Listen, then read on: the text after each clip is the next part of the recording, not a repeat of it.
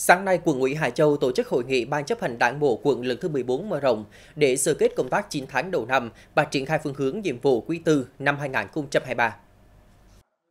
Theo báo cáo tại hội nghị, 9 tháng đầu năm, các mặt công tác của Đảng bộ quận Hải Châu có nhiều chuyển biến tích cực. Công tác xây dựng chính đốn đảng và hệ thống chính trị được chú trọng, góp phần giữ vững kỷ luật kỷ cương trong đảng. 9 tháng, quận đã phát triển 117 đảng viên mới, hoạt động kinh tế tăng trưởng khá so với cùng kỳ năm ngoái.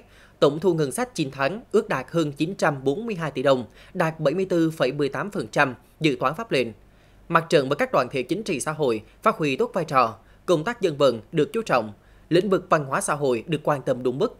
Trong 9 tháng, quận đã huy động các nguồn lực hỗ trợ giúp đỡ người nghèo với số tiền trên 15 tỷ đồng, giải quyết việc làm hơn 5.700 lao động.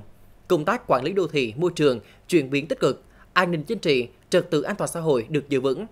Tại hội nghị, quận ủy Hà Châu đã đề ra các nhiệm vụ trọng tâm trong quý tư, quyết tâm phấn đấu hoàn thành thắng lợi các chỉ tiêu năm 2023.